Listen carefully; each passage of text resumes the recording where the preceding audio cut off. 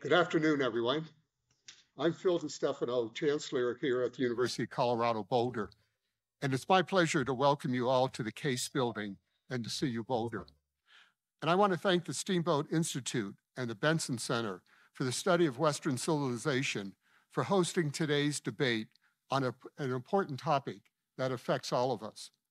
Universities like CU Boulder are unique in their ability to bring together diverse viewpoints and create opportunities for robust discussions about society's biggest challenges. Encouraging free and open debate, grounded in honesty and respect for one another, is a core feature of the university and is one of the ways that higher education is called to support and sustain democracy itself. So I applaud each of you for attending this afternoon and for opening up your minds to the learning and growth that can happen when we exchange perspectives. We have some excellent panelists with us tonight who will be introduced in just a moment. So thank you all for joining us. And now it's my pleasure, Jennifer, I think to, or Taylor, I'm sorry, uh, to welcome you. But let me say a couple words about Jennifer. Uh, Schubert Akin, who's chair and CEO of the Steamboat Institute. Uh, in, in, addition to her role with the Steamboat Institute, Jennifer serves on the advisory board of CU Boulder's Benson Center, whose mission is to promote the study uh, of the intellectual, artistic, and political traditions that characterize Western civilization. So Jennifer, thank you. And Taylor, I'll turn it over to you.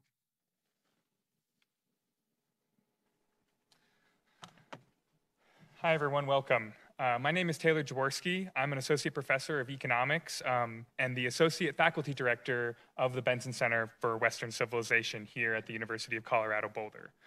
The goals of the Benson Center, uh, where I'm the faculty director, are twofold.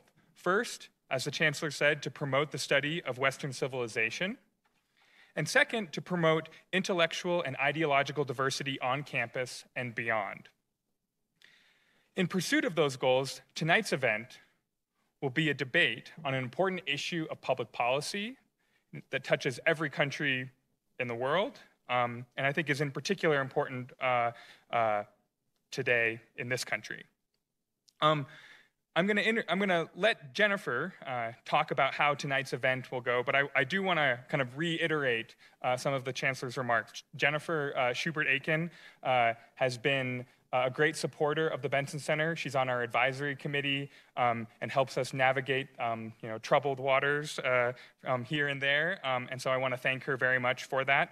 Um, she is the CEO and chairman of the Steamboat uh, Institute, uh, an organization she founded in 2008. Um, and so with that, let me welcome Jennifer Schubert Akin. Thanks.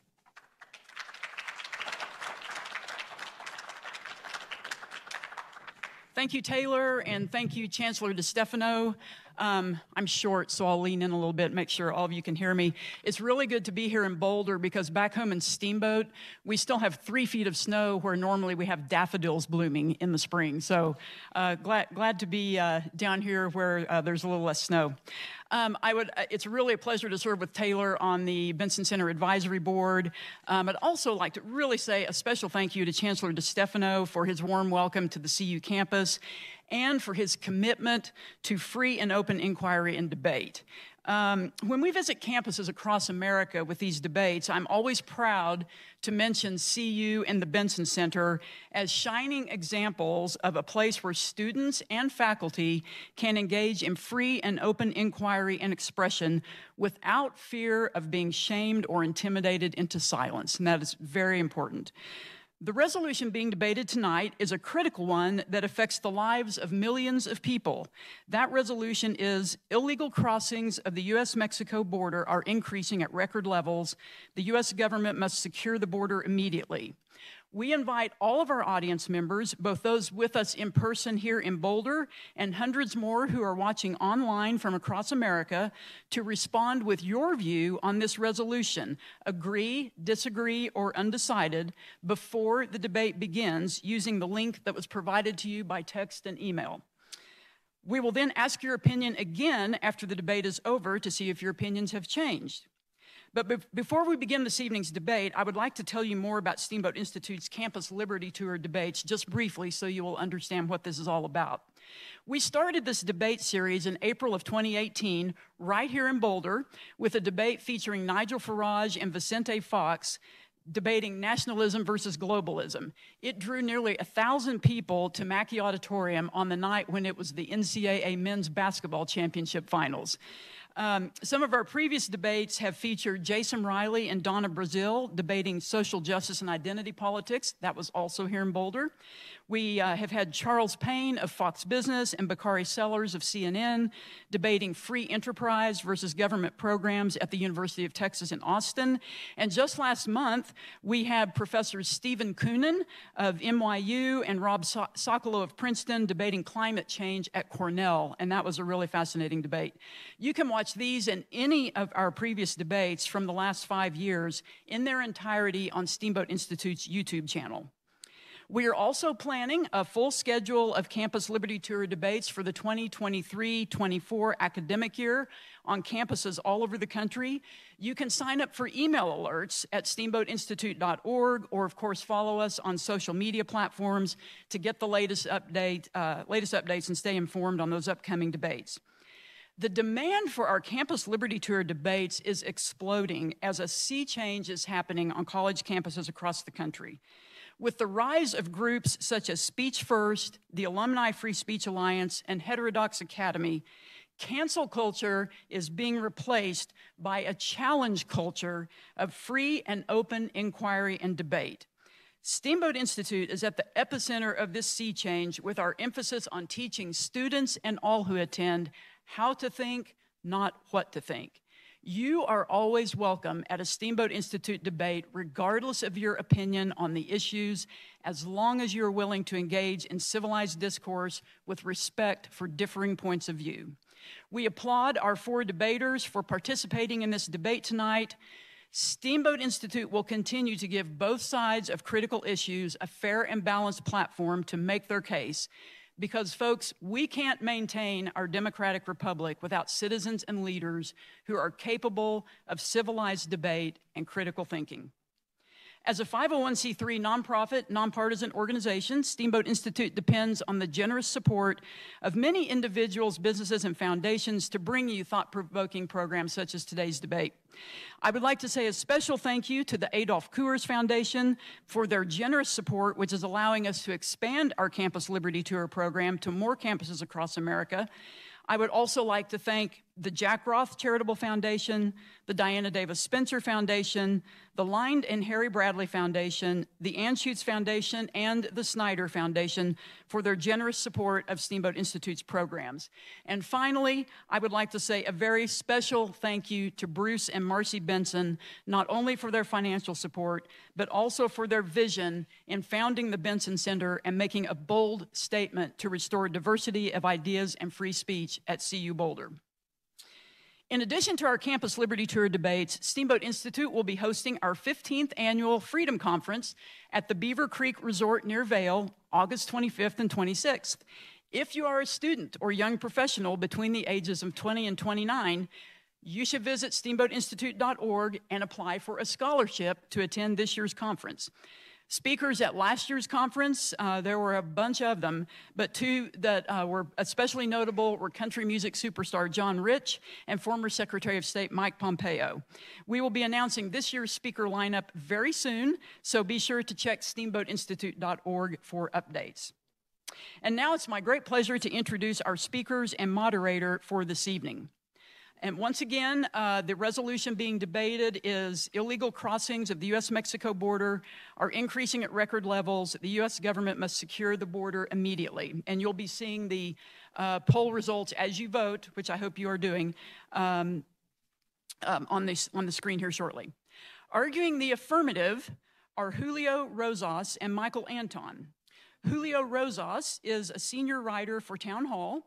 He has previously written at the Washington Examiner, Mediaite, and Independent Journal Review, and he is currently serving in the U.S. Marine Corps Reserves. Let's give a warm welcome to Julio Rosas.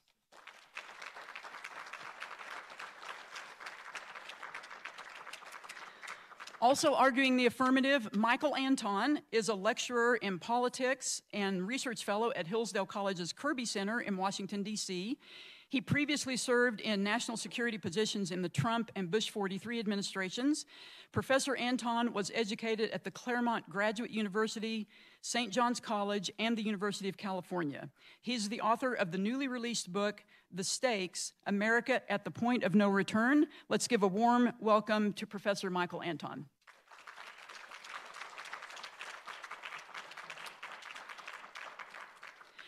Arguing the negative on tonight's resolution are Benjamin Waddell and Jose Antonio Vargas. Benjamin Waddell is an associate professor at Fort Lewis College in Durango. He has taught a wide range of courses, including poverty and inequality, social problems, and international migration. His research focuses on the intersection of international migration with development and crime in Latin America and the U.S. Professor Waddell received his BA in International Relations from CU. He also received an MA in Latin American Studies and a PhD in Sociology from the University of New Mexico. Let's give a warm welcome to CU Buff grad, Professor Ben Waddell.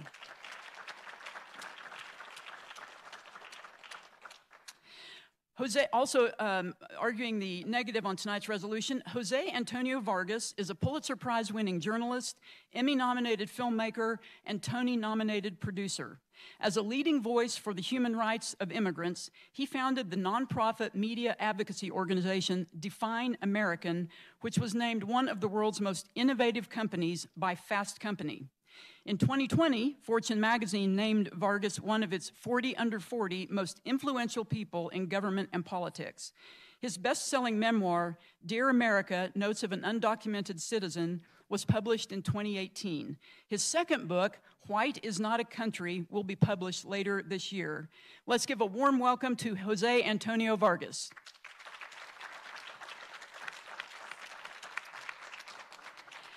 Our moderator for today's debate is Hadley Heath Manning.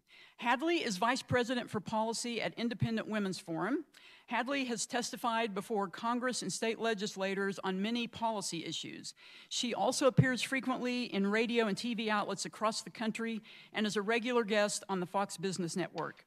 Hadley is a graduate of the University of North Carolina, and we are proud that she is a Tony Blankley Senior Fellow with Steamboat Institute. Let's give a warm welcome to Hadley Heath Manning from Denver, I might add. And with that, I will let Hadley take it away. Sure. Hi, can everyone hear me? Good evening. Thank you for being here. I really do want to offer a heartfelt thanks to every person who's in attendance tonight because we um, at Steamboat Institute, of course, believe in free speech, but just by showing up here tonight, I think everyone in the audience is demonstrating some intellectual curiosity, learning about the issue, and my hope as your moderator for tonight is that even if you don't change your mind, that you could walk away from tonight's event with a better ability to articulate both sides of this debate. So thank you again for joining us. Thank you to our panelists. I'm very excited for this evening's debate.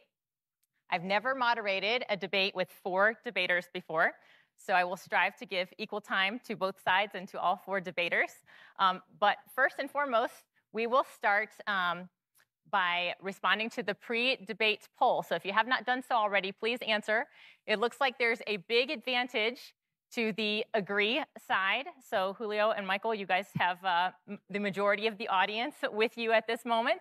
Um, I will repeat the resolution. I know Jennifer read it for everyone, but I will repeat it just to call it to top of mind. Illegal crossings of the US-Mexico border are increasing at record levels. The US government must act to secure the border immediately.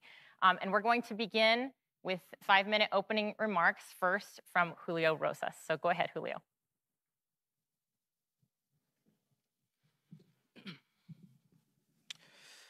One point six million. That is the number of illegal immigrants encountered by Border Patrol in fiscal year 2021 which was an historic high. 2.6 million. That is the number of illegal immigrants encountered in fiscal year 2022. 891,000, and that is the current number, most recent number that we have for this year, fiscal year 2023. First part of this statement for this debate says that illegal immigration is reaching an all-time high at our southern border.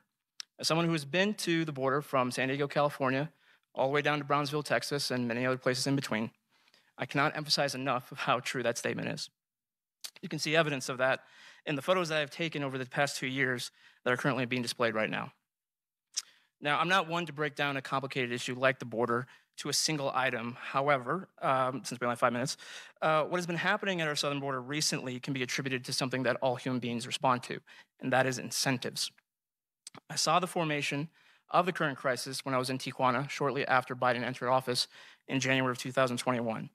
A mass amount of people were trying to get into the United States because they had heard that Biden had promised to halt deportations in his first 100 days in office, which he did try to act on. I met a woman from Honduras. Her name was Reina, and she admitted that to me by saying, quote, that is my desire with the 100 days of no deportations. Biden said to the people that they could not be returned back to their country and that they would be given asylum. Now, it did not take long for word to spread among the migrants in Mexico and Latin America and really the rest of the world that if there was any time to illegally cross into the United States, that time would be right now. Now, despite the fact that Biden's deportation halt uh, was overturned in the courts later on, it had set the tone for the next few years. Um, and it was in addition to other policies that they tried to pursue. Uh, now, incentives to illegally come into the United States have existed for a very long time. It predates a lot of us.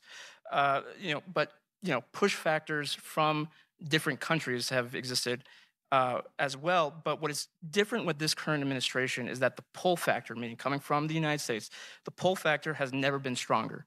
Uh, the clearest example of this is when DHS Secretary Alejandro Mayorkas, at the very start of all this, uh, said at the White House that they do not want unaccompanied minors to come to the border. However, if they do, then they're not going to be returned back to their country of origin.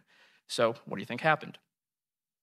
Hundreds of thousands of unaccompanied minors have shown up at our border since he made those comments. Uh, and it's a scene that I'm all too familiar with. And in fact, you've probably seen some of them just now. Um, I've seen kids as young as five, four, six years old uh, without their parents uh, walking to find Border Patrol or being processed by Border Patrol. It's because of this massive increase of people willing to pay the cartels and their various affiliates to be brought over into the United States illegally that these criminal organizations have made a killing. Uh, in some areas along the border, they've even shifted, the cartels have shifted their operations to mainly focus on human trafficking and human smuggling as opposed to drug trafficking. This has resulted in this horrific crime being industrialized.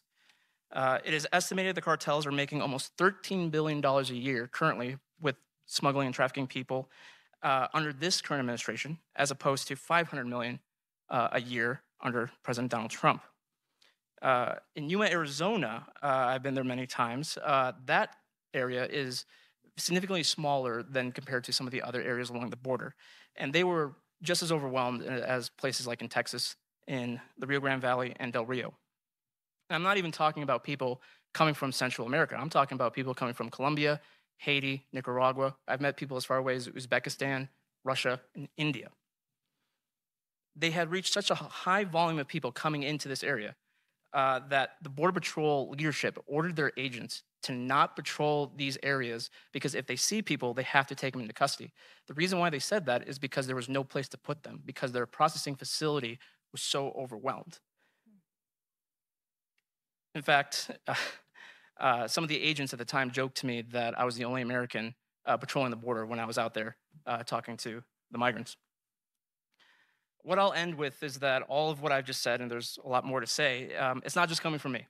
It's coming from uh, the locals who live and work down at the border, law enforcement, and Border Patrol agents, many of whom have worked under multiple administrations going as far back as George W. Bush. And they've all told me, and they've all told many others, that they have never seen anything like this in their recent history.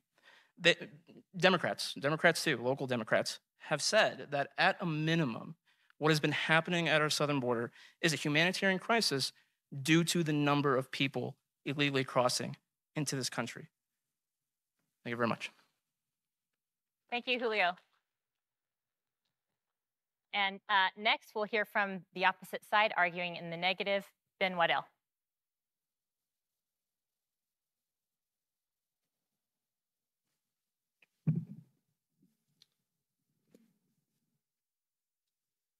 All right, good evening. It's nice to see so many folks in the crowd. Um, I'm going to go ahead and start, give a brief introduction to myself. I'm a professor of sociology at Fort Lewis College in Southern Colorado. I am a scholar of migration and I'm a legal advocate for immigrants in the Four Corners region. I work with an organization called Compañeros, the Four Corners Immigrant Resource Center, in conjunction with the work I do at Fort Lewis. Tonight, I'll be making a basic argument. Immigration in the United States is a blessing. This is particularly true for the economy. It has always been this way.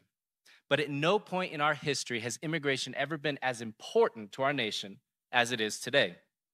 Across 15 years, I've interviewed individuals from countries across Latin America, Africa, and other regions of the world. Through this experience, I've had the opportunity to write down a few hard and fast lessons that I think I would like to share with you tonight. Number one, immigration is not reaching all time highs. We simply measure it better than we used to in the past. Border Patrol was not created until 1924. In 1990, Border Patrol had an allocated budget of $206 million. Today, their budget is $5 billion. $5 billion. That's a 1,700% increase in their budget since 1990. Not surprisingly, we are much better at measuring people crossing the border today than we were in the 1990s when immigration peaked in this country. Put simply, immigration to the US is arguably much lower than it was in the 1990s. And we measure it better, and therefore we capture more of the folks crossing. Take this, for example. In 2021, there were 84,000 people working for Customs, Border Patrol, and ICE. In 1990, just over 2,000 people. That's an increase of 4,100% in personnel. We're detecting more people crossing the border, not necessarily seeing more crossings. Number three, the recent spike in immigration is real. The increase in immigration from 2020 is a real increase. We have seen a spike in immigration. Now, I know this scares some people, including my adversaries, and apparently, according to the poll, many people in this room. But I think you should see it as a blessing. And here's why we are getting old. My kids remind me of this. In fact, my daughter's here with me, and we were riding to the airport this morning. I was listening to the Red Hot Chili Peppers, which she had never heard of. Um, I love the Red Hot Chili Peppers. She reminds me daily of how old I am. I also was going to say I love the Rage Against the Machine, but I thought that might not go over well in this room. But we need we need to remind ourselves of our age as well. My daughter does this every single day, but as a nation, we need to remind ourselves that we're getting older. And I believe that immigration is an opportunity as a result of this. As I look out across this room, I'm reminded of the facts I'm going to share with you. In 1900, the median age in the United States was just 22. 1970, it was 28. And today, it's 40. Any guesses the average age of the farmer in the United States and rancher? 60. 60 years old. Immigration is an economic issue. Our economy demands immigrants. Despite our aging country, there are homes to be built, there are medical facilities to be run, there are cars to fix, there are houses to build, and there are people to serve. The economy demands workers. This is why there is such a demand, a large incentive, as Julio put it, for young workers to come here. Demand for immigration begins in kitchens around across the United States and restaurants. It begins on construction sites. It begins in colleges like this. It begins at places like Walmart, where undocumented workers also work. The demand for immigrants begins with the economy. And so, mark my words, we will be inviting people, immigrants, with legal visas to this country that will fly over the wall that is being built on the southern border long before we ever finish it. Number five, and my last point follow the GDP. So, what do we do? Look no further than the GDP. Our economy requires workers, and yet more workers retire each year than ever enter the workforce in a given year. And so we need to pass comprehensive immigration reform, just as Reagan did in 1987. That is the only way forward. A young workforce powers new businesses. It injects life into schools and universities and ensures economic stability. At the end of the day, immigrants are good for the economy. And nothing in this country has ever dictated policy as well as the GDP. Thank you.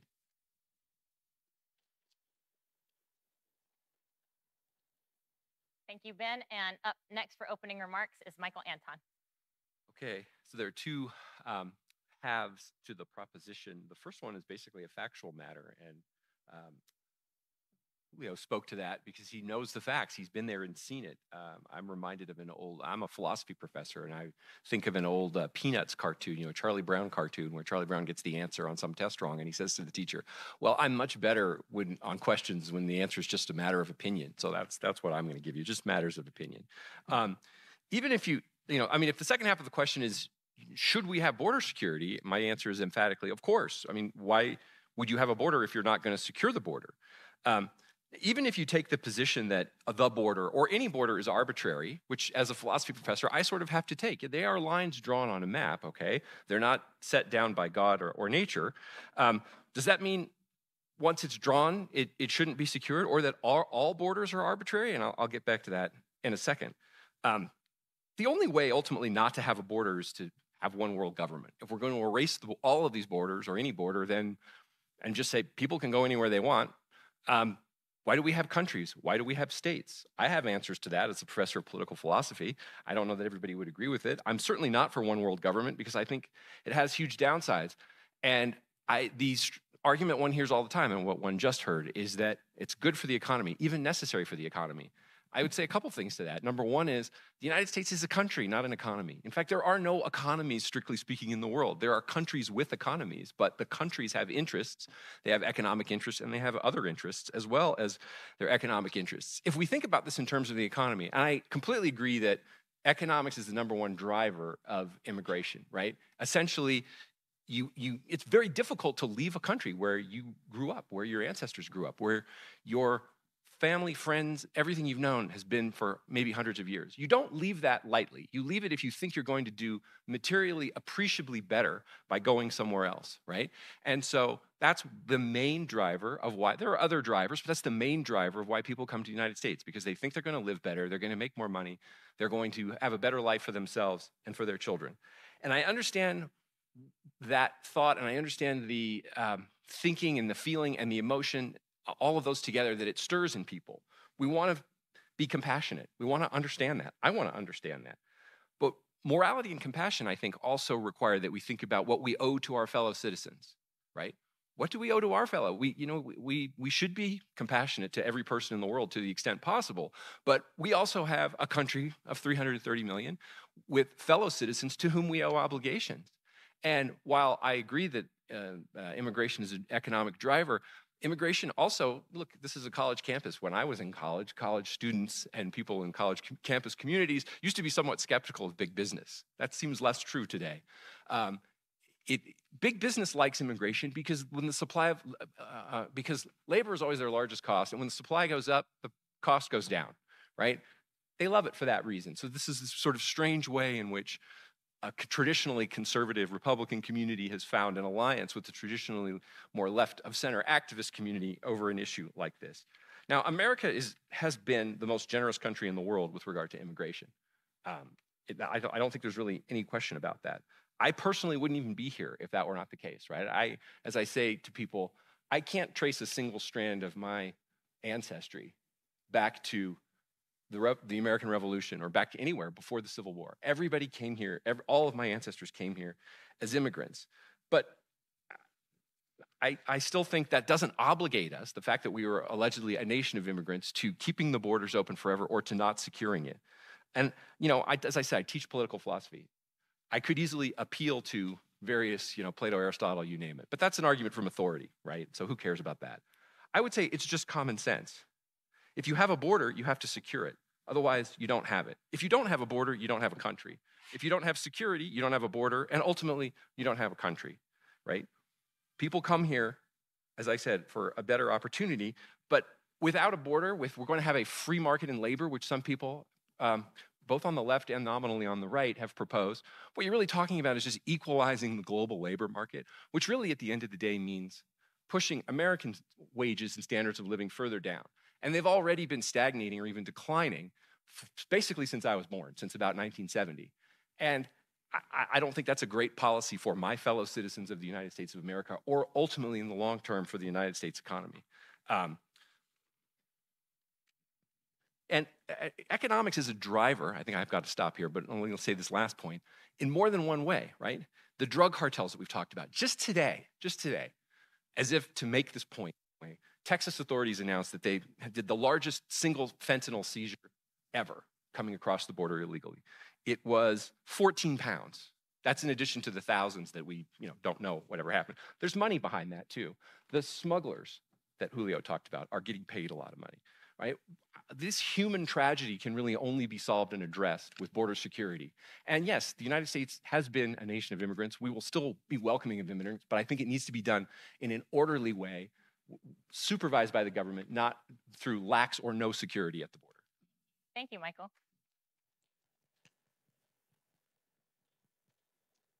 And uh, for our final set of opening remarks, we have Jose, again, arguing in the negative. Is that what I'm arguing for? The negative against this resolution. But Against this resolution. you can say what you're in, Um, in favor of. Hi, uh, it's wonderful to be here. Um, I am a journalist by training. It's probably my only religion. Uh, I was covered school board meetings, um, city hall meetings, cops. I covered police beat, and then I was a political reporter. Actually, my first time being in Colorado was in 2008 when Barack Obama and the DNC picked Denver as the um, where he gave his nominating speech. Um, I learned that facts, the who, the what, the where, and the when, are imperative, and that context, the why and the how, are essential. You know, facts without context is like a tree without no forest, right? And as a journalist, I, I was taught to be skeptical. In journalism circles, there's actually a famous saying that says, if your mother says she loves you, check it out. healthy skepticism is healthy. So I am here as a journalist who also happens to be an undocumented immigrant. And I'm here to make sure that facts and context remain a central part, not just the facts we want the to picky pick, but actually the broader facts that we can dig deeper in. And the context remain a central part of this conversation about immigration founded on the freedom of movement, right? You know, because unless you're Native American or a descendant of enslaved Africans, you came from somewhere else, someplace else.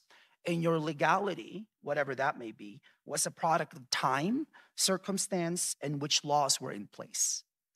So today I'm actually making a really basic argument.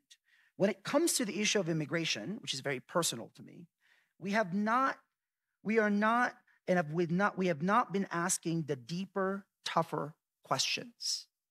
When it comes to this issue, which is stuck in the muck, seemingly immovable, something we talk about, but we don't do anything we need to go beyond the typical sound bites and tired talking points you hear from my colleagues in the news media. So, just some quick background. I was born in the Philippines. I woke up one morning, my mom put me in a plane. She said I was living with my grandparents, her parents, who were both naturalized citizens. I got to California in 1993. Four years later, um, I went to the DMV like any 16 year old to get a driver's permit. And that's when I found out that the green card that my grandfather had given me was fake. So that that's how I found out that I was here illegally. That the uncle that I thought was my uncle, but I'm Filipino, so everybody's an uncle. He was actually the smuggler who was paid four thousand five hundred dollars to get me here. Um, and there was no legal way for my grandparents to petition me because it's not close enough of a relationship, so immigration law doesn't work that way. And my mother couldn't even come on a tourist visa because she's not a college graduate and she's not socioeconomically viable. So I haven't even seen her in the 30 years since she sent me here. Right? That's just the reality of what this issue is. So this was, I was 16, and then I was like, what do I do with my life? Thankfully, my English teacher said, You ask too many annoying questions, you should become a journalist. I was like, what is that? So I did. I became a journalist. I made a career to be a successful journalist.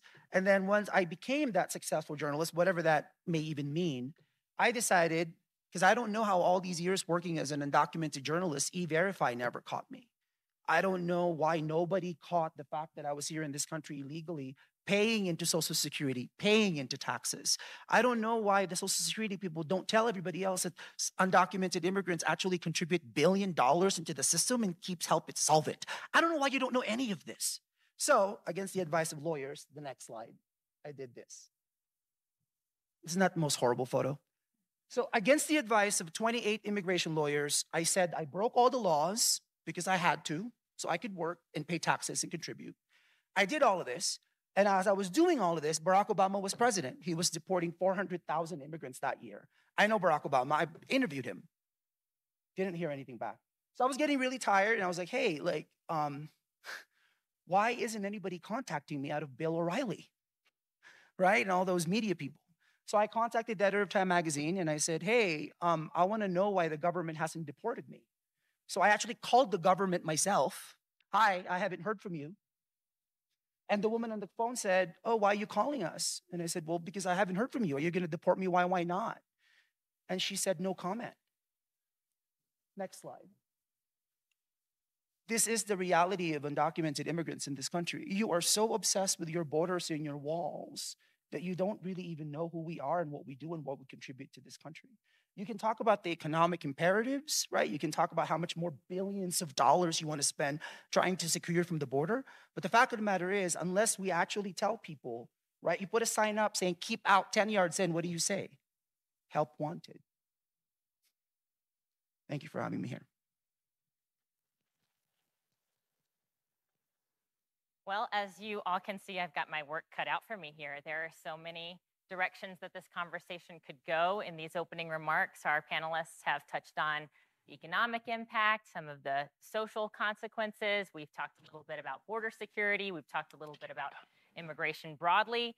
However, as moderator, I do feel that I should have some fealty to the resolution itself. So let's start there. And as Michael noted, it is a resolution in two parts. The first piece is about illegal crossings of the US Mexico border. Now, Ben mentioned that this is a matter of measurement. And so I'd like to hear first from Julio or Michael.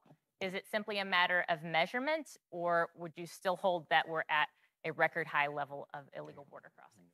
I mean, I mean, yeah. I mean, that's that's how we're keeping track of the numbers of what of what we're seeing right now. And I didn't even mention uh, that the the the millions and that I talked about at the very beginning. That that that's only the, the encounters, right? Uh, right now, there's also an historic number of people who manage to get away. Uh, because what we often see is that when the cartel sends people over, because no one can cross legally without some sort of criminal organization, uh, you know, you have to pay them. Uh, they often like to, you know, the people that pay to turn themselves in uh, because they, you know, they want to be processed and released and get into the asylum uh, court proceedings, uh, they will send them all at once, and we've seen I've seen numbers as large as 500, 600, um, and so all those resources get sucked up into processing them, handling them, transporting them, and that leaves uh, uh manpower gaps. So we can, you know, we talk about technology. Uh, you, you talked about that. You mentioned about well, that's how we're keeping track. Uh, well, the problem is that when you, when you only have this technology, even infrastructure like the wall, if there's no one to, to catch the person on the other side because they're busy, you know, a couple miles away processing 500 people all at once, um, they're going to be able to get away. Um, and so those are the known gotaways. It's a, right now we're about like for, for last fiscal year was around uh, 600,000 people, right? So we don't know who they are. We don't know, you know, sure, I'm sure a lot of them uh, just didn't want to get caught because they probably wouldn't qualify for asylum. So, you know, they don't have any ill intentions per se. But that's where you also find the more hardened criminal element because they know they, they do do background checks. They do uh, you know, try to uh, process these people. So all that to say is that, I mean, it, it's not so much a measurement issue. I, I would say that, again, I, I, have to go back to incentives that are coming from this administration. It's a gamble. I mean, when you put your life in the hands of smugglers, you're, you're gambling, right? So, you, yeah, you might have a push factor uh, pushing out of a Central American or Latin American country, but there, that, that pull factor is very real, and I've yet to you know encounter uh, any migrants that's you know that that hasn't told me if I've asked them to say you know say well yeah of course I'm coming now because this is the time because Biden's in office. Okay, thank you.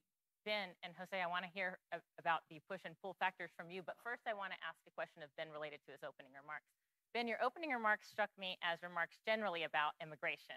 However, I want to narrow in first and foremost on illegal or undocumented immigration and specifically border crossings. And so I wanted to get your perspective on illegal border crossings, aside from the volume or scope or where you might disagree with Julio in terms of whether or not we're at record high levels. Do you see illegal crossings at the US Mexico border as a problem? Why or why not? It's a great question. So I, I've slept, like Julio, I've spent time on the border. I've slept in migrant shelters. I've, I've eaten with migrants in the morning.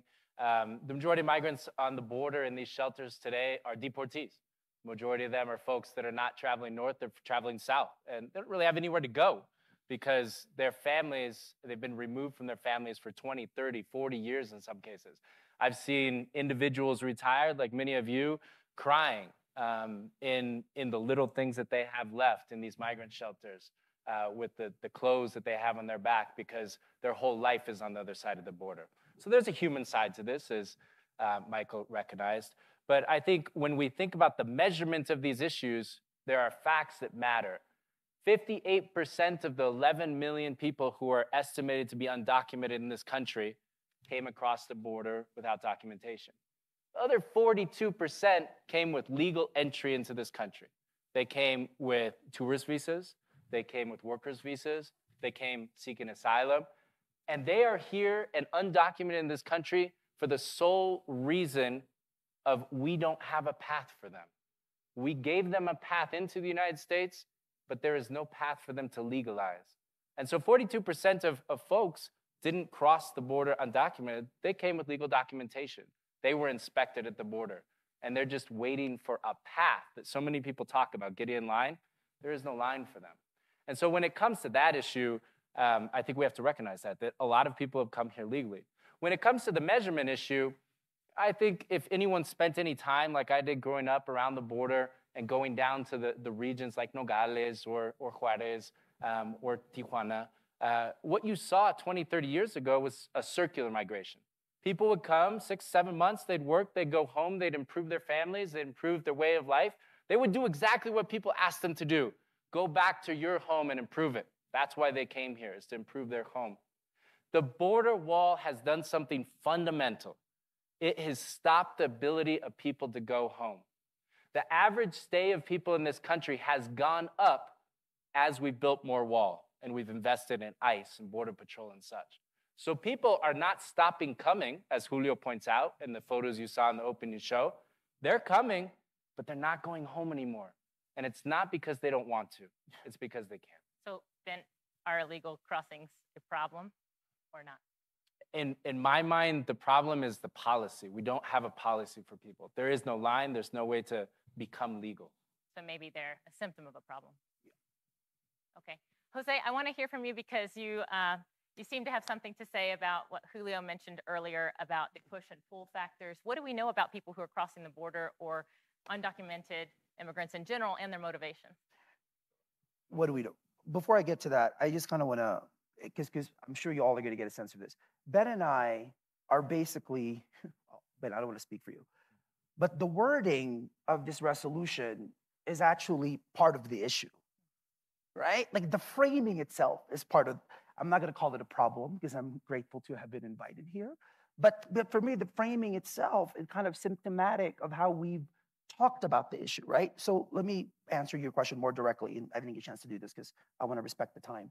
So I was invited to testify in front of the Senate Judiciary Committee in 2012, 2013. And, that's, and Jeff Sessions uh, was in the committee, Senator Jeff Sessions and Senator Ted Cruz, who Ted Cruz, you know, I don't even know, by the way, what Fox News would do without undocumented immigrants. They've just really profited from us so greatly. So here's Ted Cruz, always talking about undocumented people. Here I am, the first undocumented person testifying in front of Congress. He doesn't even pay attention to my testimony. I testify, Jeff Sessions, bless his heart, was the first person to ask the question Mr. Vargas, do you think this country has a right to secure its borders? My answer yes, absolutely. Absolutely, a country has the responsibility to say, this is the country, in the same way it has a responsibility to say, oh, yeah, and we got, by the way, California, Arizona, New Mexico used to be parts of Mexico, right? Like it actually has a responsibility to say, this is what this is how we got to be what we are.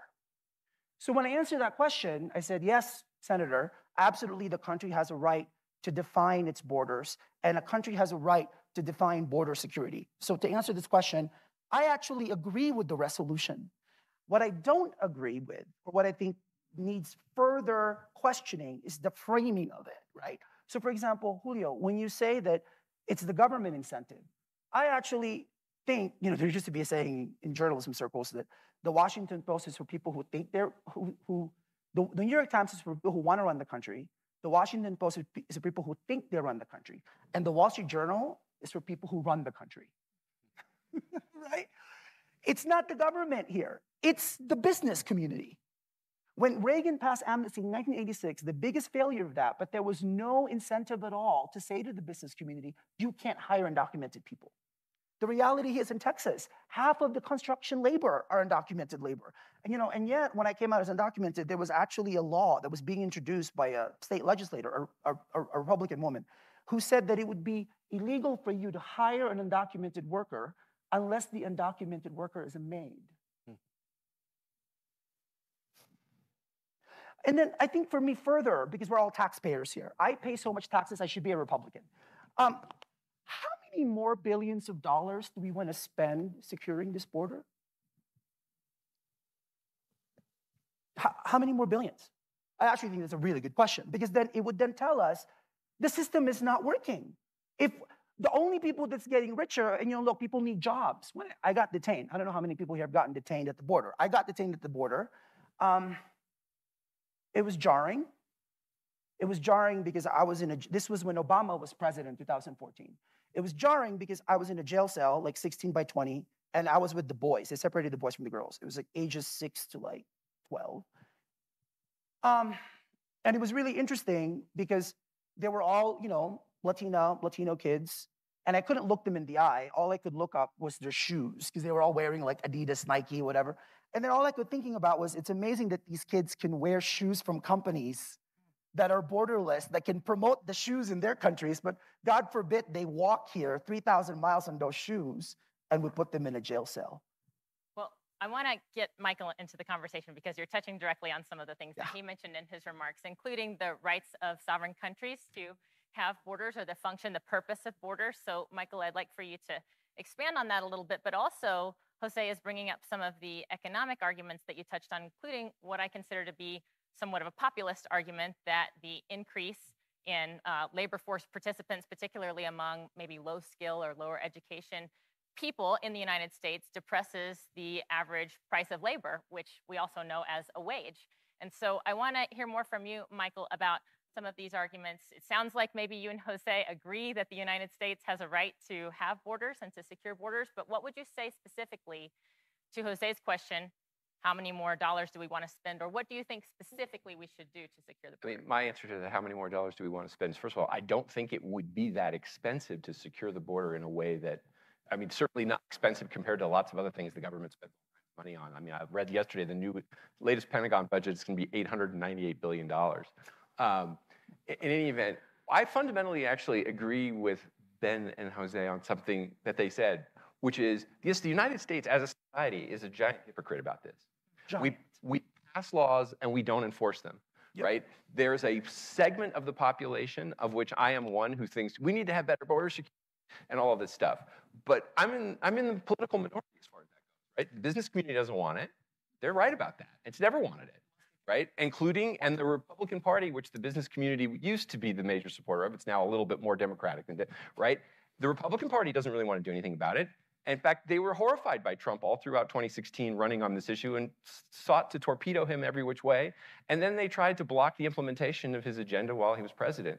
So the political class doesn't really want it, the business class doesn't really want it, the intellectual class doesn't want it, the New York Times doesn't want it. Everybody who really has power in America likes the system the way it is or would like to make it even looser. So there's really no, I mean, to those of you who are taking the other side, I guess my good news for you is there's no, there's not a significant large enough constituency for the views that I hold to ever make them policy. So you're winning, and I think you're going to keep winning. Can I follow up by asking you if you were in charge, if you were the czar of America, or you didn't have to have a political constituency, you just could make any rules that you wanted to secure the border, what would be the policies specifically that you would recommend to secure the border? I would like physical security at the southern border eh, to address the humanitarian crisis, to address the fentanyl, to address the cartels, to address the crime. I think there should be more uh, workplace enforcement in the United States so that people who are not here legally cannot undercut wages for people who are here legally. That's something the business community doesn't want to see because it obviously benefits them. It obviously benefits um, immigrants for obvious reasons, right? But I, if we were serious about this problem as a country, which we're not, we would do that, and we and we don't do that. Thank you. So then what's wrong with those, what's wrong with those policies that Michael just mentioned? I mean, in other words, And, and this is, I don't want to get into audience questions too soon, but several of you have already submitted questions, and one of them corresponds to something I wanted to ask about. So I'll, I'll jump in and ask an audience question. I'm going to turn to the audience questions entirely soon. So this is your reminder to please submit some questions to add to this discussion. But Do you want me to answer what's wrong or no? Want me to hold? I, I want you to tell me what's wrong, but in the context of can we not be pro immigration as a country, but also pro border security? What's wrong with being in favor of both those things? Yeah, I mean, I guess my question to Michael would be don't we have those things on the southern border? Have you spent time on the southern border? Have you seen the level of uh, it's a military state? I have as well. I mean, it, the, it is a military state on the border. You do not have constitutional rights Nope. within the 33 miles between the border and the, the range where they do checkpoints. And if, if you don't believe that's true, you should go to the southern border. You should check it out because it's not just the southern border. That 33 mile radius goes around the country. And Border Patrol is starting to pop up in Maryland within 33 miles of the coast. It's starting to pop up in Virginia within 33 miles of the coast. And you do not have the constitutional rights that you believe, cherish, and care about that you have outside of that 33 mile range. And if you don't believe that, ask folks that have been detained. Um, I want to answer the question directly talking about SB 1070. It was passed in Arizona in 2010, and Arizona has backed away from that ever since because it ruined their economy. They walked away from it. Alabama passed similar legislation after SB 1070. They backed away from it because they couldn't get crops out of the fields. Florida, in the next two or three weeks, is gonna, the DeSantis is gonna sign this bill, and he is gonna start giving out felonies. He's gonna do exactly what Michael is asking. He's gonna give out felonies to people who hire, transport, or work with undocumented immigrants. And I guarantee you within 10, 10 years, Florida will back away from it as well. We do not enforce it for the exact reasons that Michael's saying. We don't want to. I- want to bring in Julio and ask you if you agree with Ben's assessment that, and I don't want to put words in your mouth, Ben, but it sounds like you're making the assertion, uh, assertion that our current approach to border security undermines constitutional rights, at least close to the border. Well, I mean, there, there's facial recognition. I'm looking at the camera right now. There's facial recognition on many of our doors. There's cameras. All that facial recognition also corresponds to federal agents. 84,000 of them can correspond between that data. Google contracts with some of these. Some of you are giving that information to them. Does that, Um, does that comport with your experience at the border? Do you- And that's on the border, and that's soon coming to a town near you. Well, I mean, what it, it, we, we, we agree that there is a policy problem, and, and, and Jose was saying that uh, it's it's more of the business side, and I, obviously, there, there's, I think we're all in agreement that that's that is a problem. But as I said in my opening statement, it's it's also coming from the government, and that's what under this administration. I mean, in addition to Biden campaigning on halting deportations for 100 days, like well, illegal, it will we'll give health care to undocumented people. We're going to halt construction of the border wall. We're going to get rid of Remain in Mexico, and he's tried and he has tried to follow through on those things. And and, and so rhetoric does matter, and it's not just the rhetoric, but part of the reason why. I mean. People like to blame on the left. Uh, I'm not saying these two, but people on the left like to blame Republicans uh, for incentivizing people to come because they're the ones saying, "Oh, well, that that they're saying that the border's open, so uh, that's their fault." Well, you know, they're not watching Fox News, they're not reading Townhall. Um, they they are in what uh, WhatsApp groups, they're in Facebook groups, uh, even TikTok, and they're all talking and they're all sharing their stories about how they paid a smuggler, they were brought over, they handed themselves in, or they were able to get away, and uh, this is how I did it.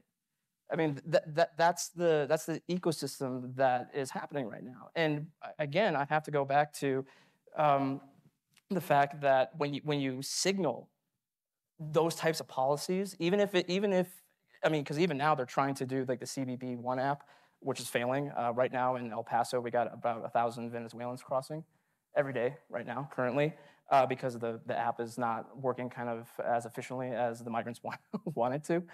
Um, and, and, and so the fact is that, yeah, that, that is the pull factor, right? The businesses that has existed for decades. But, but the, the current pull factor and what has made the significant up increase, I mean, you, you literally see it on the, on the line graph that, on the CBP's website.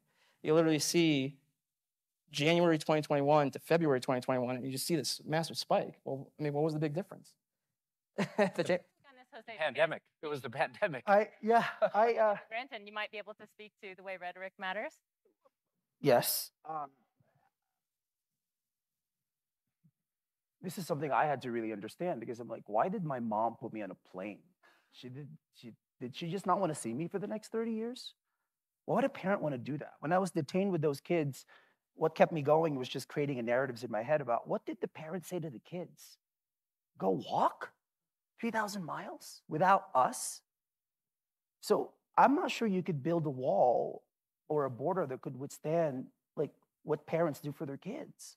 I'm just not sure you could do that. Now, absolutely, going back to the agreement, there needs to be, it's a policy, but then how you execute it, then how you talk about it. Now, Julio, to your point, I, I see what you're saying. I also come from a perspective where Barack Obama has to actually talk about the fact that he deported 3 million people.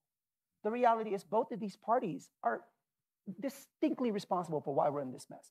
I can't go leave the, I have not, I don't want to use the word stuck, but I've been stuck here for 30 years, right? Like, I can't leave because if I leave, there's no guarantee I'd be allowed back. That's because of what Bill Clinton passed into law in 1996. The same year, by the way, that the IRS gave you what's called an ITIN number. Do you all know what that is? ITIN, I-T-I-N. Please Google it. It is how undocumented workers pay billions of dollars in taxes. Right? So it's, it, it's a giant hypocrisy. It's a complete governmental failure. I think, I actually think immigration is a manifestation of just a, the government's inability to actually do its job and the lack of trust that people, citizens, have on the government. And the last thing I'll say is I am neither a Republican or a Democrat or a left or a right. I am kind of a traditional journalist in this way. I am independent. Um, and again, both of these parties to me um, and the media and how we frame this, I'm working on a project now that I'm really excited about. Uh, it's basically Fox, you know, the, the kind of the great replacement theory and how we got there, right? And kind of trying to understand Fox News, conservative talk radio, Townhall, right? Like uh, that whole ecosystem, right? Because I, I knew the creators of Townhall back in DC, back in the late, uh, in the mid two, two, 2000s. So I'm just really trying to understand how we got to this point. Right. Um, Okay, ca- ca- to respond specifically to Julio's assertion that we saw a big uptick yes. in border crossings after the Biden administration took. And it's remained high ever since. I, I think it's unfair to answer that directly. I think it's unfair to put all of that in Biden's rhetoric, given the fact that the Biden administration actually hasn't done all that much right about this issue. Today was a rare one. Today they said that DACA, people who have DACA, can have health insurance. That's a rare win for immigrants, for undocumented people in what, four, three years of this But administration. if, he hasn't, if the policies hasn't haven't changed much, then Yeah. does that give more fuel to Julio's fire in suggesting that it was the rhetoric actually? I mean, I, more I, so than the I mean. I would say that the policy has changed because I mean, Remain in Mexico is nowhere near what it once was, what, as it was under the Trump administration. The, bor- the border wall, I mean, the, I've seen the gaps. There's material that's been out there since 2021, and I'm not. And of course, like I said, it do- it doesn't matter what you have in place, right? Because it- the policy does a change. When when you often hear border patrol agents tell me and have told members of Congress they don't want any more funding because you talk about like how much more money do we want to spend? If you really want to ta- tackle this issue that we're currently experiencing right now i mean daca that was 10 years ago or you know more than that. More than yeah yeah, yeah more than that. Um, they just they just want changes in policy. If, if, if they, they, they you know that's what they've said. If we get these changes in policy we go back to at least something more consistent under the trump administration we're going to see a decrease in crossings. Now of course i'm sure they're happy to take more money but that's what that's what border patrol agents and on top of that but yes they do pay taxes and it equals in the billions but right now because of our system not being able to absorb this large number of people in such a short acute amount of time i mean here in denver they're spending $800000 a week trying to you know for all the services from all the migrants that are coming up from the southern border because they're being released. That's about $20 million uh, going through june. Uh, the heritage foundation they've done a, they've done an analysis. It's costing illinois not a border state uh, 9.5 billion dollars for services because again people are coming up in large numbers from the southern border. They're requiring assistance. They're requiring uh, all these all these sorts of things. So there is also a cost to illegal immigration. And, and, and whether or not like one outdoes the other i mean i just again when it's not set up for this, when the system's not set up for it, and yeah, we agree the system's broken, but that doesn't make it okay for then people to just come in in large, large amounts of number in such a short amount. I'll, I'll say to respond to this, and then I Very want to get to quickly, the very quickly. audience question. I just, Briefly. I actually don't think the system is broken. I think it's doing what it's extended to do. This country was built on the back of cheap labor. Black people have been telling us that since time immemorial, right? Italians and Irish, the people that built, everybody can tell us all about that. It is, it is not broken. It is doing entirely how it's supposed to do. Now, thank you, Julio, by the way, for saying that we could trade numbers. And I'm so sorry. Again, this is the journalistic nerd in me. I'm all about primary sources. So where are your sources coming from? I'm not sure I can trust the sources from the Heritage Foundation. That's fine, I do. I would rather call the Social Security Administration. I'd rather call the IRS myself. I want to go to the primary sources to tell me how many millions of dollars are people putting in. So, according to the IRS, you just cited from the Heritage Foundation, undocumented people in Colorado paid 156.5 million in state and taxes in 2019. So I don't know if that's enough to pay for what that is. But the last point I'll make, we get to the questions. We're also more than labor. Immigrants are here not just for your labor. In the same way that their ancestors who came here were not just here for labor. I actually think what I would ask all of us is a modicum of humility in terms of what makes their experience different now from what the experiences were of your great grandparents when they crossed that Ellis Island and there was no border patrol and nobody asked for a green card. I uh, have a question that relates to all of this, uh, but it's an excellent audience question. So thank you. I, I've got more than 30, 33 answers questions so far.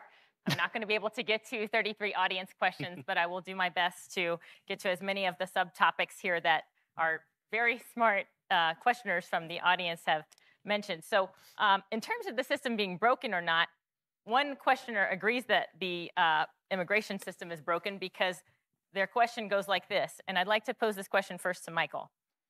Wouldn't you agree that in order to secure our borders, what needs to happen is to fix our broken immigration system? And I presume that this questioner is asking about our legal immigration Yeah. I mean, just as a factual matter, n- no, I wouldn't agree. Whether it would be wiser policy to do it all at once is a different question, but we could secure the border without doing anything else if we wanted to. Um, look, I, I, it was said a little earlier. I forgot who said it. I apologize. I'm the oldest one here, so I'm a little bit uh, that you know uh, the system is failing. I don't think it's failing. I think it's working more or less as intended. I actually think if to go back to the the point which I basically agree with that the you know the about the Times, the Post, and the Wall Street Journal, people actually own and run the country.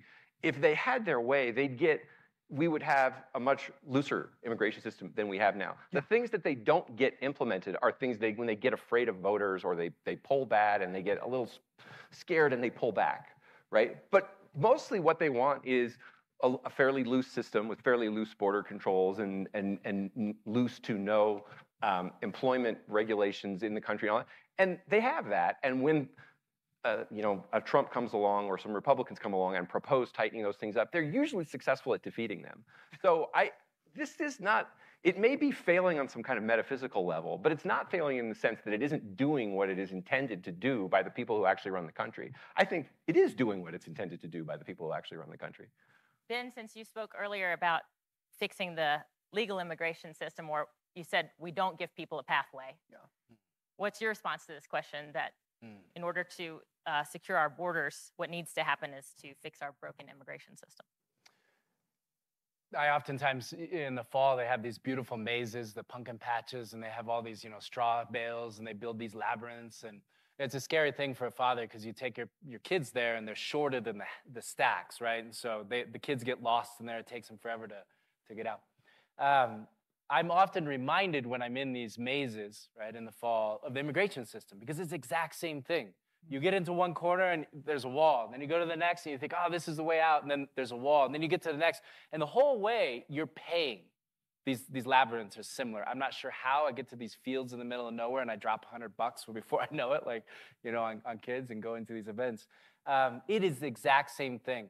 I want to give you a, just a brief anecdote. Um, the other day I was uh, 8 a.m. Uh, young man, individual had come from a South American country. Um, he got in in late February. He was detained. He was let go in Georgia. So he came in El Paso. He ends up in Georgia, private detention center.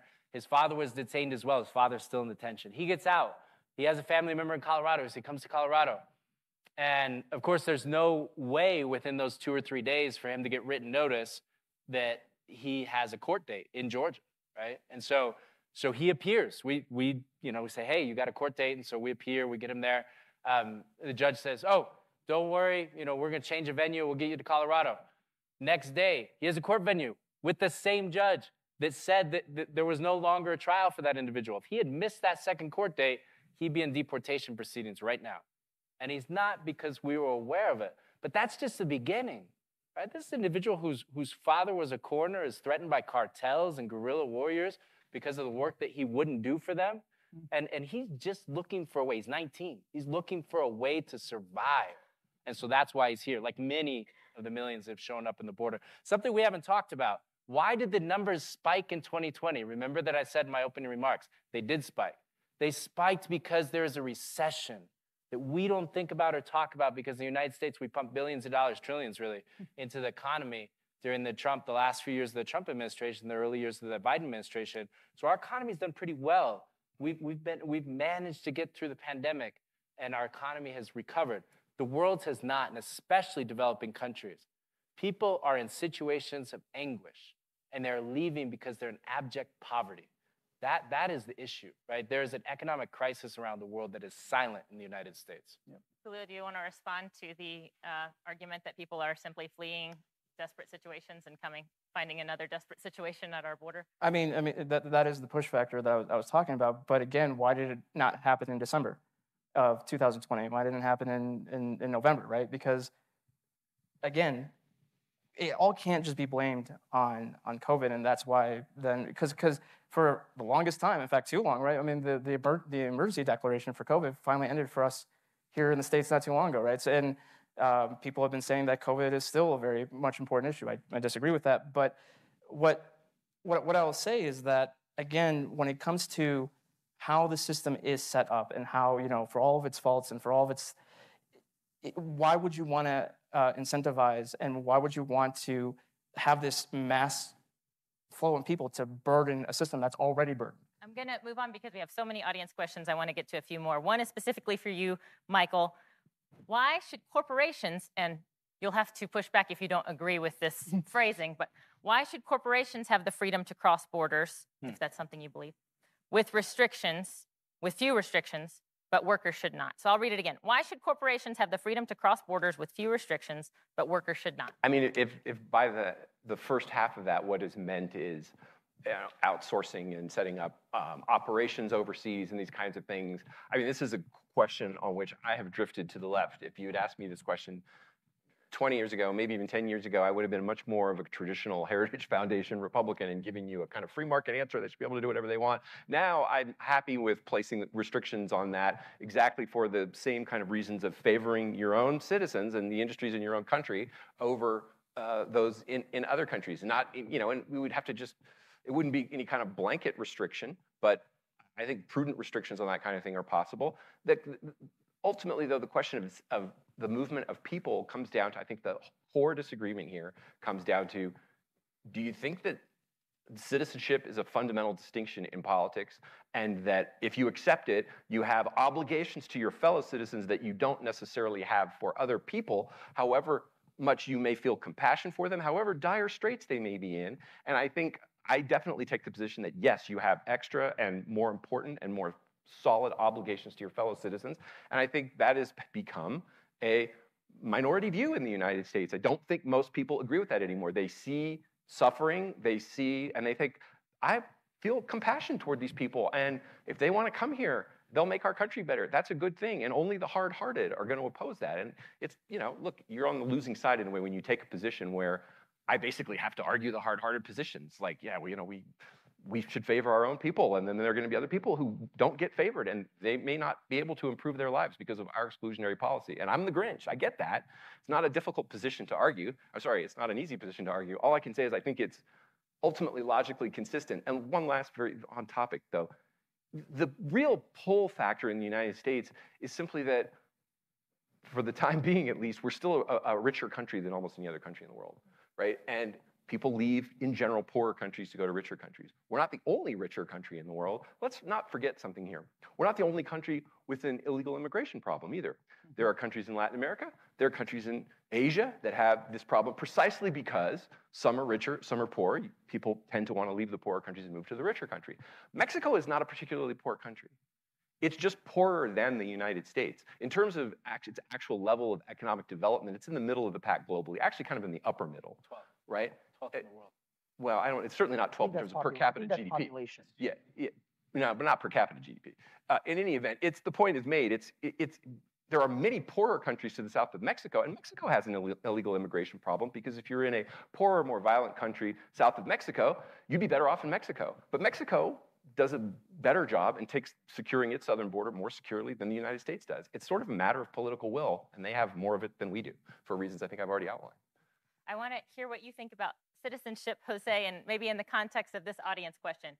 Do you feel badly that a US citizen might have been passed over for an opportunity because you were given that opportunity? Or I'll, I'll rephrase more broadly, maybe hmm. because some undocumented immigrant, any undocumented immigrant was given an opportunity. Oh gosh, I actually really believe that. Really believe. I believed when I was a kid, I believed that I was stealing someone else's job.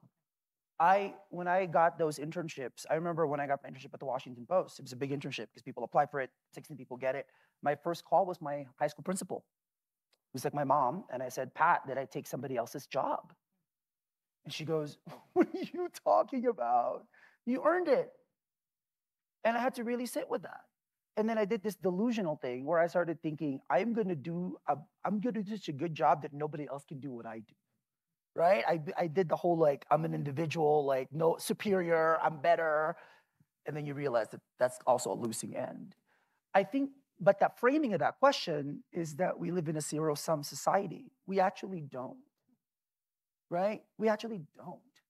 And I know that because in the past 12 years, I've met so many, you know, far, talk, I mean, talk about farming, right? Like, by the way, in the Philippines, I come from a family of farmers. There's nothing low skilled about farming. If you don't know what that's like, go try, go try it out. All right. Um, so the fact that when I was, I went to Alabama after they passed that law, because I'm crazy like that, and and I met so many, you know, third, fourth generation Alabamans who were like, oh my God, I can't believe Julio. Actually, one guy was named Julio. Julio Javier. There was another guy, Ricardo, who all from Guatemala, who the farmer was like trying to figure out, hired a lawyer, did everything he could, because now they're a part of the family. I actually think part of the issue here is we haven't, we've seen this issue as if these 11 million undocumented people are islands unto themselves. They're not. Every single one of them have teachers, mentors, coworkers, friends, lovers, right? And so when you're talking about one undocumented person, you're actually talking about like 10 people whose lives they're impacted. The citizenship thing, I think I'll save that for my closing remarks. Okay. That's a big question. Great. Uh, we have more than 40 now uh, audience questions, so Ooh. I'm going to um, pose one more audience question, and uh, then we're going to probably have to move to our closing remarks. So, um, actually, Michael touched on this topic, but uh, and actually, uh, Taylor uh, Jaworski from the Benson Center touched on this in his opening remarks that immigration is something that touches every country in the world. And so uh, one of our audience members asked a question that was also in my list of questions that I previewed to our panelists, so I hope they have good prepared answers. But how does the situation in the US compare to countries in Europe, for example? This is an audience question comparing our, um, our human uh, immigration problem to some of the humanitarian crises we've seen in terms of refugee crises in Europe and so forth. How, how is the situation similar or different, and how have other maybe wealthy or developed nations dealt with border security? I don't know who wants to I go mean, first here. in Europe, it's it's a it's a lot different in many ways and very similar in certain ways.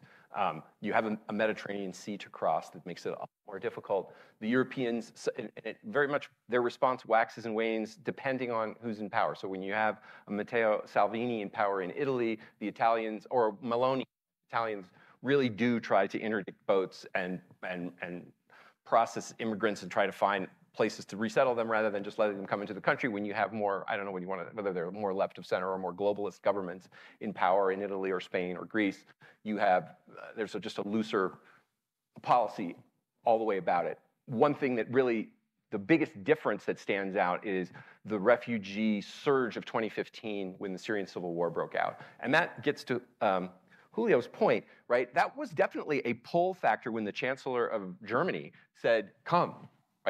Come, please. And people got the message and they said, I, I want to go there because this is a much richer country with a much more highly developed economy and a much higher standard of living. Also, it's not in the middle of a civil war, right? And Germany got a surge of about a million people over the course of a year when the chancellor, her, who essentially issued the invite, said that might, she never exactly admitted this, but her revealed preference, but based on her actions, was to admit that was probably a mistake and started to tighten it up. But you know, we here we are, we're eight years later, and Germany is really still dealing with the after effects of that surge, um, uh, which have caused tremendous financial problems, um, serious crime problems in some of the major German cities, uh, and you know, it, that's something that the United States hasn't had to deal with in quite the same way. Um, in part because, like I said, we've had this. we I think we all kind of agreed that we've had a, de facto system in place for a long time. That, as chaotic as it is, as dumb and irrational as it is in many ways, there's something sort of regular about it that it was not similar to the European experience. Thank you for that answer. I'm sorry that we do have to move to our closing remarks now. I know we have many audience questions that did not get uh, a hearing with this excellent group of panelists. So I hope that Maybe you can find the panelists after the event. Please don't swamp them with dozens and dozens of questions. Thank you so much for submitting the questions.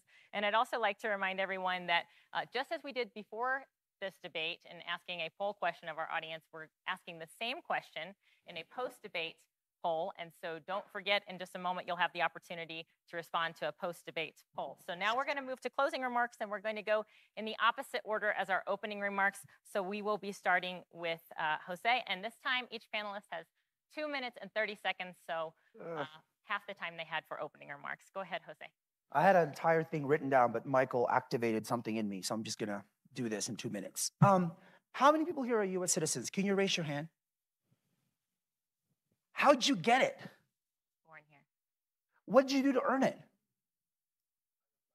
You applied. Great. Um, but this question of earning it, right, um, which has been in every single, I think, immigration reform bill since Reagan didn't, you know, since, since amnesty happened, and here we are with this mess that we're with. And that's, I, I took that to heart deeply as a 16 year old because I actually thought I really needed to earn it. I thought it, I thought it meant that I needed to actually contribute to this country. I thought it meant that I had to stay out of my own silo and my own island and make sure that I'm a part of something bigger than myself. And I would argue that undocumented immigrants in this country actually show Americans what true citizenship actually is.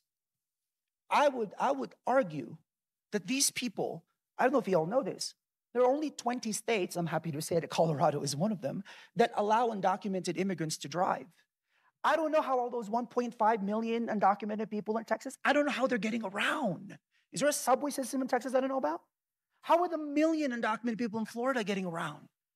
Is, is there like a metro rail that we don't know about? It's incredible. I'm actually surprised the sky hasn't fallen with the amount that undocumented workers who, by the way, are responsible. If you look at every service industry in this country, what we go to and what we rely on.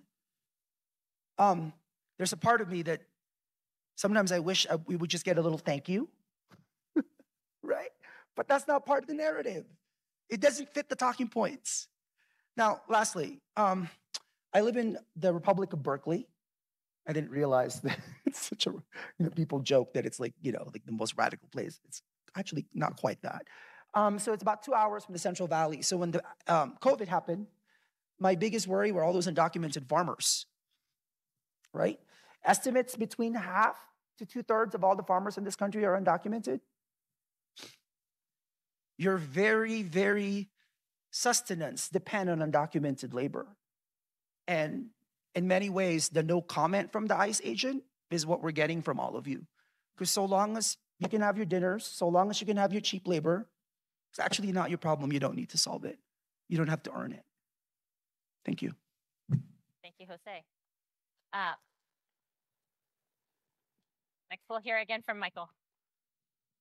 Uh, okay, in no particular order. I, I don't, as, as good as that point about earning it sounds, if you try to think it through logically, what does it mean? I mean, it's part of human nature and has been true in human history that you are a citizen of the country or political entity in which you were born. That's just always been the way it is. And mm. I don't see an alternative to that. What should we do? Start having a test when you for everybody born in the United States when you're 18 and if you don't pass it or if you don't meet some criteria, you get kicked out. In any event, it says at the very preamble to the United States Constitution that the thing is being uh, enacted for ourselves and our posterity. In other words, for the children who come after. So um, just because I, I I have ancestors who, in fact, did have to earn it, who did come here legally, and who did have to naturalize. Uh, so I don't know where we're exactly supposed to go with that. On the point about undocumented, everybody knows that undocumented workers do a ton of work in the United States. There's no question about it. I don't think that, though, you can um, extrapolate from that fact that the work simply would not otherwise get done. I mean, one of the things, one of the reasons why big business so much loves um, very loose immigration um, restrictions and loose immigration and border policies is because, again, the supply of labor goes up, the cost goes down. And business doesn't want to have to pay more. It would have to pay more if it tightened the labor market. And one of the things that we saw uh, as economics uh, economists can show you is even though yes trump didn't finish the wall and he didn't implement a lot of his agenda but border crossings were down uh, illegal crossings were down during his four years, and the labor market tightened up considerably, and wages went up. And I think that was a good thing for American workers who live here and for American citizens. And then the last is just kind of a thought experiment. It will sound crazy. You probably already think I'm crazy, so I'm not risking much by saying this. But just let, let, let yourself think if we're really not going to control the border, and if all the things they say about immigration is true, is there a limit that you would accept? What's the upper limit? What's the upper limit to the size of the American population that we, where we finally would start to say, maybe it's getting a little crowded? Uh, and what's the, the, the lower limit? How much do you want to lower American wages as they are equalized with the rest of the world, as the labor market becomes increasingly globalized. Yes, it is great for people who come from poor countries and who suffer to have their wages go up. It's less great for people who are already here to see their wages go down at what point, you know, do you think it would be fair when they kind of all leveled out and equalized across the country? I, I, I, I freely admit to, you know, that this comes off as somewhat selfish, but I'm absolutely happy to say that the United States should have a protected labor market that favors its own citizens and that pays better than other countries.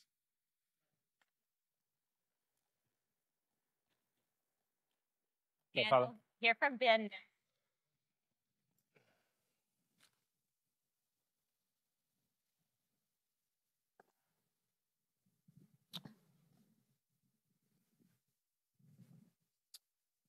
All right, I appreciate the opportunity. I, do, I, really do. I appreciate the opportunity to speak with all of you. It, would have been great to see more students. Um, it must have been a recruiting issue. Um, but I, I, do appreciate the opportunity to speak to, to everyone that's here. Um, before you are four individuals, including myself, who are products of immigration. Each one of us sits here as a product of immigrant families that came to this country before. Mr. Anton is of Lebanese and Italian descent. Mr. Rosas um, is of Mexican immigrants who came to this country. I am of German descent myself, and folks that came from Georgia before that, the country. And Mr. Vargas grew up in the Philippines. If not for immigration, none of us would be sitting here, at least on this stage. As this debate reflects, as a country, we're at a crossroads.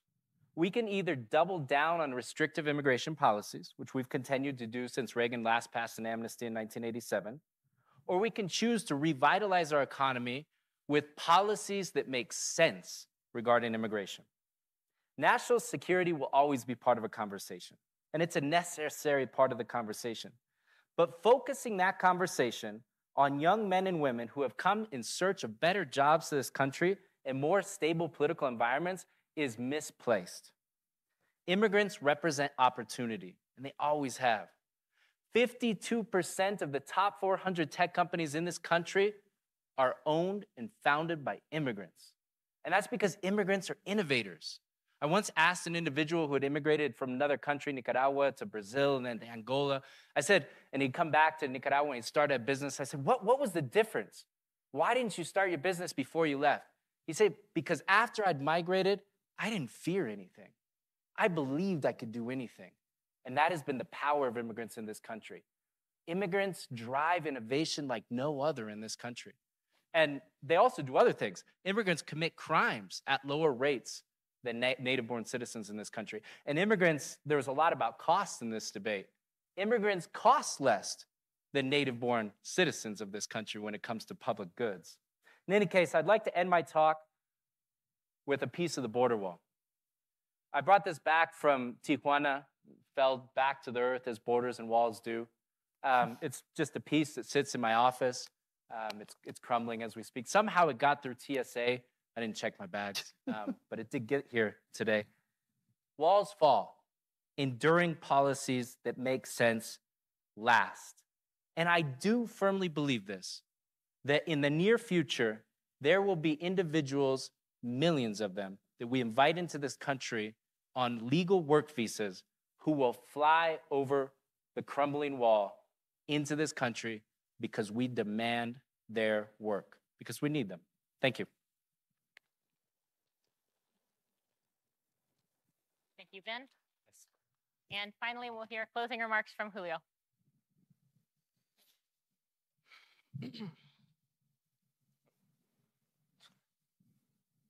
Adjusting the microphone. will- Yeah, speaking of crumbling. Two and a half minutes. I will pause the game clock for microphone adjustment. So really what I want you to take away from what what I have presented, what what even Michael has presented, is that what we've seen at the border has not really happened in recent history. Uh, in the pictures that you saw, some of them was from the Haitian migrant camp in Del Rio, Texas, when there was about 16,000 of them underneath the International Bridge. Uh, by the time I got down there, there was about 10,000, and there were about 60 porta potties for all those thousands of people to use. Um, I bring that up because, again, I, I have to talk about how the system is not set up for this kind of incentive being brought by the Biden administration. HHS, which handles unaccompanied minors after they are processed and released by Border Patrol, has lost upward to around 80,000 children. They don't know where they are, they don't know who they're with, and they don't know what they're doing. Oftentimes, we find them, speaking of labor, uh, working in uh, meat processing facilities, in, in uh, automotive uh, plants, in very dangerous jobs. And uh, they do that because they need the money to pay off their debt that they incurred from the cartels. Um, I, I know that there was a lot of, uh, I remember under the Trump administration, there was a lot of hullabaloo about uh, child separation from their parents, and yet it seems no one cares about the increase in child labor and sex trafficking as a result of this current surge. Uh, when we talk about costs, I'm glad we also brought that up because in Yuma, Arizona, again, uh, their local hospital, which is, is, is a major hospital that is supposed to service around 130,000 people, they're in $26 million in debt currently because of the services rendered to the illegal immigrants that required and medical service. And I'm not saying we should have denied them, but what I am saying is that that has a cost, not just in monetary funds, because we're not even talking about broken bones, uh, bruises, or even severe dehydration, which I've seen. We're talking about people needing heart surgeries. We're talking about uh, uh, babies that are being born that need to be in the NICU for extended periods of time. And you know, there's so much hours in the day, and there's only so many doctors. And so I can tell you that there was a uh, a cost with Americans in Yuma not receiving the care that they probably could have had that mass amount of people had come in. Uh, and just really quick, the last thing I want to say is, is that there is a there is a cost to both Americans and the migrants. I was told about a, an example again in Yuma where a mother and her children got lost uh, in the desert, and it was 100 degrees, and were and they were they, were, they died except for the 10 month old baby. And the reason why the uh, border patrol agent was telling me, and the reason why he was so upset is because where the mother died uh, was very close to where they normally would patrol, but no one was patrolling that day because they were all pulled off the line and processing the thousands of people. So it's not just Americans who are bearing the brunt of this; it's also uh, the migrants, and I think uh, that's something that uh, de- de-incentivizing people to come in this way is the humane approach. Thank you.